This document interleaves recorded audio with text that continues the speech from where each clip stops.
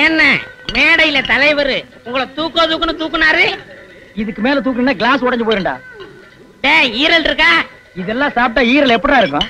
நம்ம கிட்ட இல்லன்னு தெரியும்னே என்னது நம்ம கிட்டயா என்னை உன்னோட சேர்த்துக்கிட்டியா? என்கிட்ட இல்ல. அதனாலதான் கேட்டேன். உன்கிட்ட இல்லாதெல்லாம் கடையில் இருக்கும். குடல் வாங்கி சாப்பிடு. அண்ணன் கணக்குல குடல் கொடு. அதுக்கு நானா? அண்ணே ஒரு அரை குடின்னு அப்படியா? இந்த. வாடையில அரை கேட்டேன்னு. அப்படியா? இந்த. சொல்றது கொஞ்சம் விவரமா சொல்ல. சரக்கு. வெள்ளைக்காரங்காலத்துல இருந்த மாதிரி இல்லப்பா. அப்புறம் எதுக்கு வெள்ளைக்காரனை விரட்டினீங்க? வெள்ளைக்காரனையும் விரட்டி போடுவீங்க. சரக்கு நல்லா இல்லைன்னு சொல்லுவீங்க. சுதேசி இதையாவது ஆதரி. நல்லா சொல்லும் யாரு அது ஏயா பெருசு எத்தனை வருஷமா நீ சாப்பிடுற? பதினஞ்சு வயசுல இருந்து குடிக்கிற. இப்போ உனக்கு வயசு என்னாச்சு? இப்ப எண்பத்தி மூணு. ம் பிராண்டி விஸ்கி சாப்பிடுறவன் எல்லாம் முப்பத்தஞ்சு நாற்பதுலயே போயிடுறான். இதுக்கு எண்பது வயசு. ஒருவேளை ஆயில் வரத்துக்கு இதுதான் நல்லதோ? ஆல் கிளாஸ் பீப்புள்ஸ் சொல்றாங்களே அது இவங்க தான் அது எப்படின்னு? எல்லார் கையிலும் கிளாஸ் இருக்கு.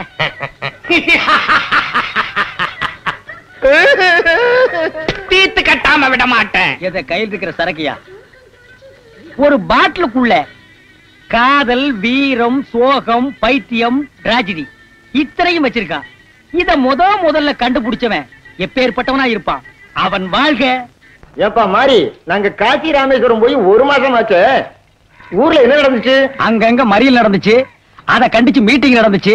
சர்வகட்சி ஊர்வலம் நடந்துச்சு. பள்ளிக்கூடம் எல்லாம் மூடியாச்சு. நாங்க ஊர்ல இருக்கும்போது இதுதானே நடந்துச்சு? இப்போ அதான் நடக்குது. இனிமே எப்பவும் அதான் நடக்கும்.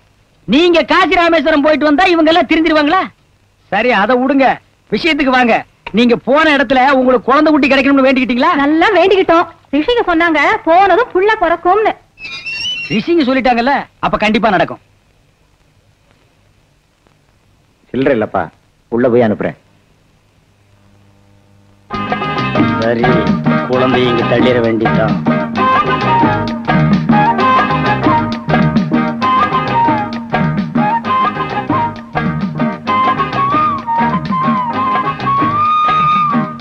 நல்ல நேரத்துல இந்த வீட்டுக்குள்ள வந்திருக்கிறேன். இனிமே எல்லாமே நல்லபடியா நடக்கும்.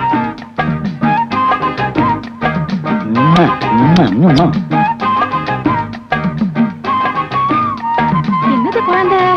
என்னங்க? என்னங்க? இங்க வாங்களே. இங்க வந்து பாருங்களேன் அட ஏது இந்த குழந்தை? எப்படி வந்தது? தெரியலையே. என்னங்க? இப்பதான குழந்தை இல்லைன்னு காசி ராமேஸ்வரம் போயிட்டு வந்தீங்க. அதுக்குள்ள பிறந்துருச்சா? குழந்தை பிறக்கலப்பா. யார கொண்டு வந்து போட்டிருக்காங்க. நல்லதுதானே? வளங்க. இவ்வளவு பெரிய சொத்துக்கு வாரிசு வேணும்னு வருத்தப்பட்டீங்கல்ல? அந்த காசி விஸ்வநாதனே குழந்தை கொடுத்திருக்காரு. விஸ்வநாதனும் கொடுக்கல வேலாயுதமும் கொடுக்கல. பின்ன சூலாயுதம் கொடுத்தாரா? என்ன இந்த ஆளு? வேணும்னு கொண்டு வந்து போட்டிருக்காங்க ஐயா. யாரு போட்டா என்னங்க? குழந்தை தானங்க எடுத்து வளங்க. அது எப்படிப்பா? எங்களுக்கு பிறந்த குழந்தைய தானே நாங்க எடுத்து வளர்க்க முடியும்? இதுவும் பிறந்த குழந்தை தாங்க மண்ணுல செஞ்சுதா? இந்த குழந்தை என்ன செய்ய போறீங்க? வேலைக்காரன் வந்த உடனே தூக்கி குப்பை தொட்டில போட சொல்ல போறேன். குப்பை தொட்டில போட்டா நாய் நரி கவ்விருங்க. இந்த பாவ காசிக்கு போனாலும் உங்களை விடாது. பேசாம இத நானே எடுத்துட்டு போய் எங்காவது விட்டுறேன். வண்டி வாடகை.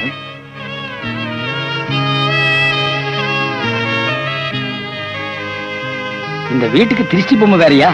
அதான் கீழே ரெண்டு நிக்குதே. அப்புறம் எதுக்கு மேல? இவெல்லாம் பொம்பளையா? இல்ல ராட்சசி. இவளுக்கு புள்ளையே பிறக்காது.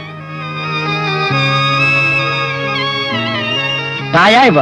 இல்ல பேய். சாக வேண்டிய இவளை எல்லாம் விட்டு வச்சிருக்காங்க.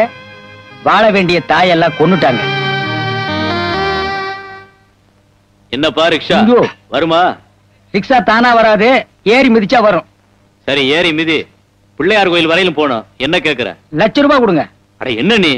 பின்ன என்ன சாமி இந்த இருக்கு பிள்ளையார் கோயில்? இதுக்கு எவ்வளவு கொடுக்கணும்னு உங்களுக்கு தெரியாதா? நீங்க ஒரு ரூபாய் சேர்த்து கொடுத்தீங்கன்னா ஒரு பண்ணு டீயும் சாப்பிடுவேன். இல்லன்னா பட்டினி கிடப்பேன். ஏறி குந்துங்க. சரி வாடி. ஆமா கையில என்ன குழந்தை? பின்ன குழந்தைய காலியா வச்சுக்குவாங்க. அட அது இல்லப்பா குழந்தைய கையில வச்சுக்கிட்டு ரிக்ஷா எப்படி ஓட்டுவேன்னு? இந்த அம்மா இருக்காங்களே அவங்க கிட்ட நான் கொடுத்துருவேன். நீங்க இறங்கும் போது திருப்பி வாங்கிக்குவேன். எங்க வீட்டுல எட்டு கொடுத்தனும் எல்லாரும் குழந்தைய கொண்டாந்து என் மடியில தான் போடுவாங்க. அதே மாதிரி நீயும் போட்ட. உங்க மடியில எண்பது குழந்தைய போடலாமா குழந்தை வளர்க்குற முகராசி உங்ககிட்ட இருக்கு. நீ சொல்றது வாசம் தாப்பா குழந்தைங்க எல்லாம் இவரை கண்டா பயப்படும். என்ன கண்டா சிரிக்கும். இவரை பார்த்தா எனக்கே பயமா இருக்கு. நீங்க எப்படி இத்தனை வருஷமா?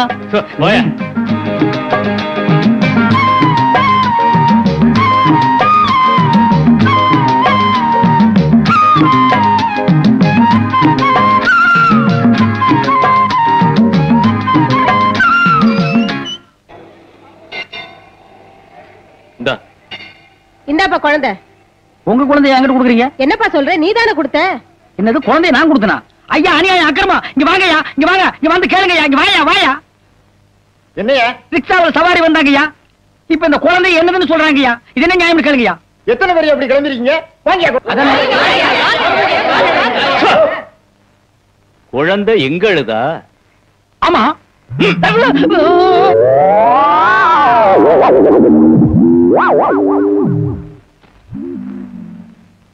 இப்ப சொல்லு. குழந்தை? என்னதுதான் அப்ப என்ன சொன்ன? மிதிச்சாத்தா ரிக்ஷா வருமா? மிதிச்சா ரிக்ஷா மட்டும் இல்ல நம்ம நாட்டுல எல்லாமே வரும். இந்தா வாடி.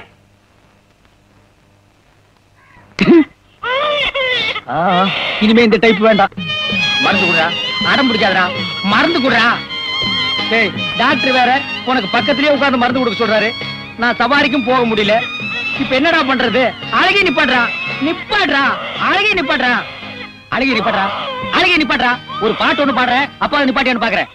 செல்ல கிளியே மெல்ல பேசு தென்றல் காற்றே மெல்ல வீசு. வர்றா டேய் வாத்தியார் பாடினா குழந்தைகள் அழகி நிப்பாட்டிருது நான் பாடினா நீ அழகி நிப்பாட்ட மாட்டேங்கிறியா? சரி பாலையாவது குடி. குடுறா. டேய் குடுறா ஜோ ஏ, குடிய குடிய ஜோ இவன டேய் குடுறா குடுறா டேய். டேய் குடுறா இப்ப என்ன பண்ணலாம்?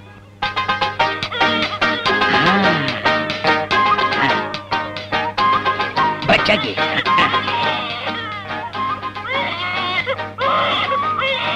குடி குடி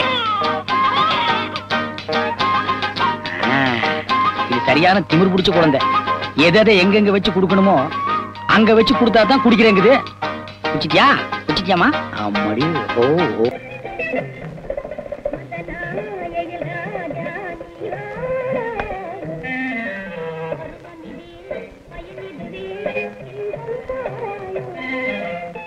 சந்திக்கிற இடத்துல சந்திக்கிறேன்னு சொன்னீங்க. அது இந்த இடம் தானா? பின்ன உன்னை எல்லாம் எங்க சந்திக்க முடியும்? கள்ளு கடையிலையும் சாராய கடையிலையும் தான் சந்திக்கலாம். போடா மண்டபார் சேவிங் பண்ண சேன கிளங்காட்ட காட்டு பூனை. என்னங்கடா ஒரு மாதிரியா உட்காந்துருக்கீங்க கரெக்ட் சாப்பிடல? காசு இல்லண்ணே. போனியா அவளன சவாரி இல்லைண்ணே. நிலைமை ரொம்ப மோசம் வாத்தியாரே ஓஹோ. அப்படியா? சரி. காசு நான் தர்றேன். எல்லாரும் சாப்பிடுங்க. இந்தாங்க. ரொம்ப நன்றிண்ணா. வாரி அண்ணனுக்கு எப்பவுமே இறக்க குணம் தான் தலைவர் துரக்கண்ணுக்கு அடுத்தது அண்ணன் மாறிதான் 50 மில்லிக்கெல்லாம் ஏன்டா என்ன தலைவராக்குறீங்க? பேசாம சாப்பிடுங்கடா.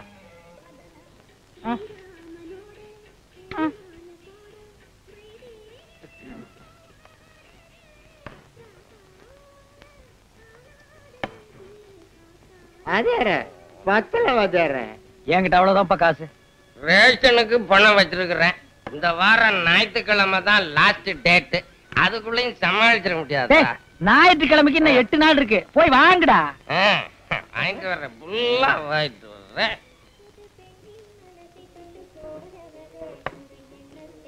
பத்தலையே. பத்துல என்ன படுத்துக்கடா. அண்ணா. கொஞ்சம் இரு, அண்ணன் என்னமோ சொல்றாரு. என்னங்கண்ணே? ரிக்ஷாவுக்கு வாடகை பணம். அடுத்த செவ்வாய்க்கிழமை தான் கொடுக்கணும்.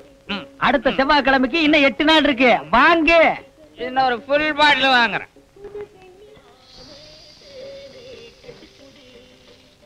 டேய் எனக்கு சரக்கு பத்தல. இன்னும் கொஞ்சம் வேணும். யார் யார் கிட்ட காசு இருக்கு? ஏங்கிட்ட இருக்குது வாத்தியாரு. என்கிட்டயும் இருக்குண்ணே. கன்னத்துல கைய வச்சுட்டு காசு இல்லாம உட்கார்ந்து இருந்தீங்க ஐம்பது மில்லி உள்ள போன உடனே அவன் வைக்க கூடாத இடத்தெல்லாம் வச்சிருந்து எடுக்கிறீங்க. நீங்க எல்லாம் உருப்படவே மாட்டீங்க. எனக்கும் நீ அதே கேஸ் தான். குடிகார பசங்களா? குடி குடிய கெடுக்கும். குட் நைட் யாரோட குடிக்காரங்க குடிச்சு குடிச்சு குடும்பத்தை அழிக்காதீங்கடா.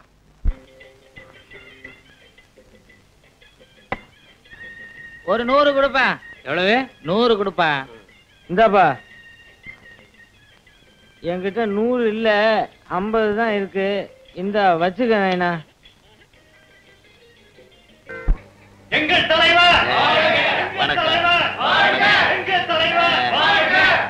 கண்ணியப்பா சௌக்கியமா? ஓகேங்க உனக்கு பேர குழந்தை பிறந்துச்சா ஆயிடுச்சுங்க. என்ன பேர் வச்ச? வச்சுட்டேங்க. மாத்தி சிங்கப்பூர்னு வை. அதாங்க ஊர் பேரை சொல்றீங்க? நீ மட்டும் லோக்கலா பழனி சிதம்பரம்னு வைக்கல? அது மாதிரி சிங்கப்பூர் அமெரிக்கன் வைய? நிறுத்துப்பா. அம்மா சரோஜா. குழந்தை எப்படி இருக்கு? எனக்கு இன்னும் கல்யாணமே ஆகலைங்க. உனக்கு ஒரு அக்கா இருக்குல்ல? ஆமா. ஆ அந்த குழந்தைய தான் கேட்டேன். சௌக்கியமா? போ போ போ. உன் மவனுக்கு லயன்ஸ் கிளப்ல கால் பிக்ஸ் பண்ண சொன்னனே. கிடைச்சதா? ஆ கிடைச்சுங்க. திருத்தமா சொல்லியா கிடைச்சது. ஏன் சத்தம் போட்டு சொல்ற? முள்ளமா சொல்லு. ஆ, போ போ.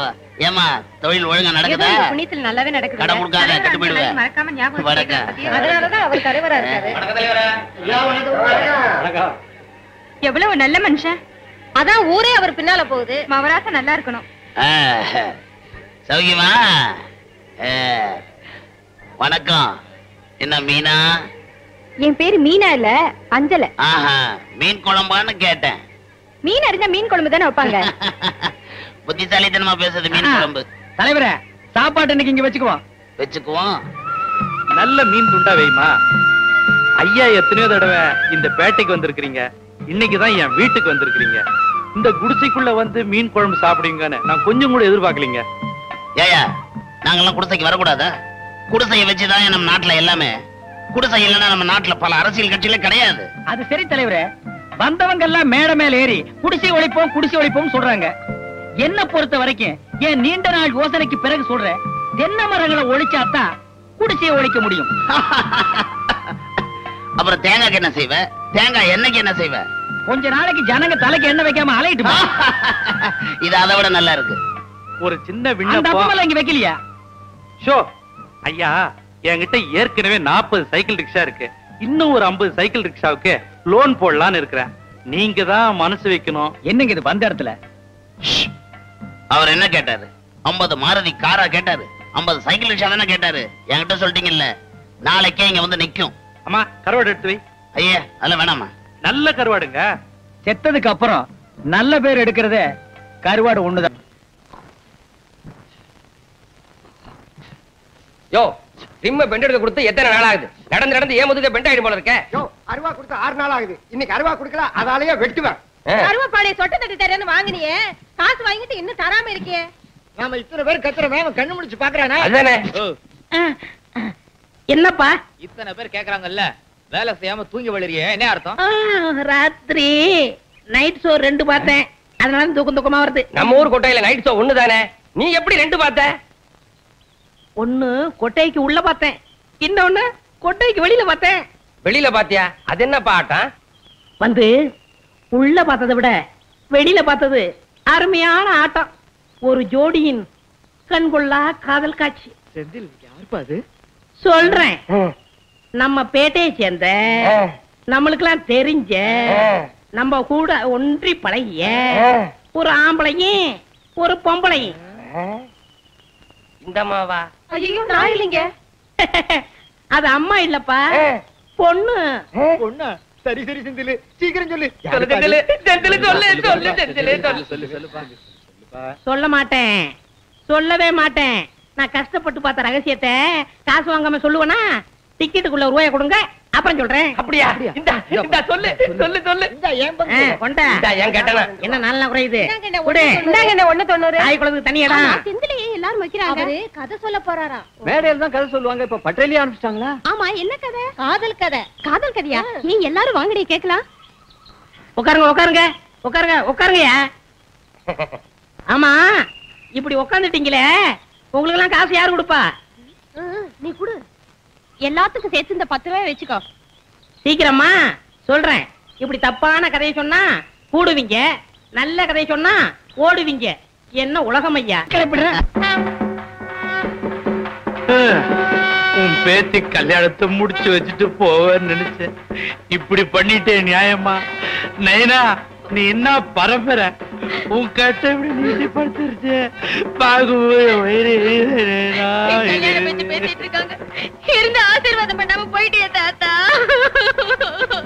கூட்டி போங்கம்மா. தாத்தா. ஏய், மேல வந்து உள்ள கூட்டி போங்க. தூங்குங்க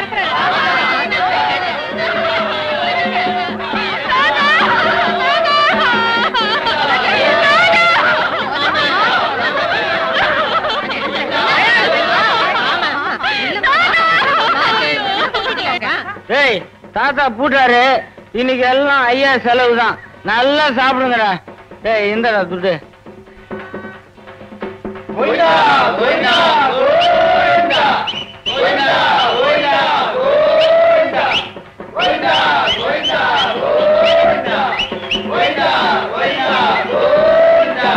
ஏய், stop, stop, stop, stop.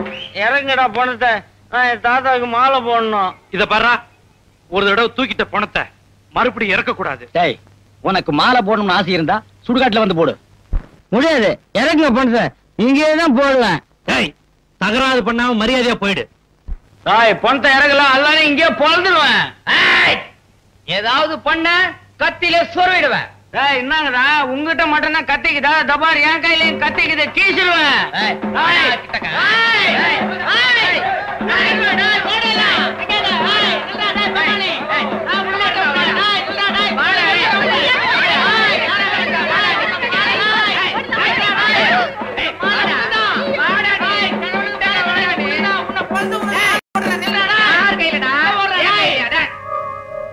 எல்லா பயலும் ஓடிட்டானுங்க. யாராவது நாலு பேர் கூப்பிடுப்பா. தூக்கிடுவோம். இருங்க இப்பதான் கத்திய உருவிட்டு ரெண்டு பேர் ஓடி இருக்கானுங்க அதுல ஏதாவது ஒண்ணு போனமா தான் வரும். அதையும் இதோட வச்சு தூக்கிடுவோம். பின்ன இவருக்கெல்லாம் தனியா பாடம் கட்ட முடியுமா? என்னப்பா நீ இங்க உளுந்து கிடக்குற? ஃபுல்லா போட்டுக்கினியா? அளவோட குடிக்க கூடாது குடிக்கிறவன் பேரெல்லாம் கெடுக்கிறியே. ஏன்பா குடிச்சிட்டு இந்த கூத்த அடிக்கிறானுங்களே. இந்த குடிய ஒழிக்க வர வழியே இல்லையா? நாட்டுல குடிய தயார் பண்றதே எட்டு கம்பெனி தான் இருக்கு.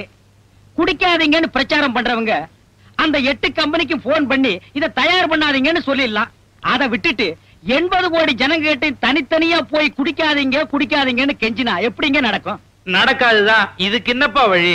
நம்ம தூக்குவோம். ஐயோ இதுக்கெல்லாம் நாலு பேர் வேணும்னு சொல்லுவாங்களே. இனிமே ரெண்டு பேர் தான். தூக்குங்க. நைனா. கத்தாதீங்க. காரியத்தை முடிச்சுட்டு நைட் ஷோ நான் சினிமாவுக்கு போகணும். டிக்கெட் வேற வாங்கி வச்சிட்டேன்.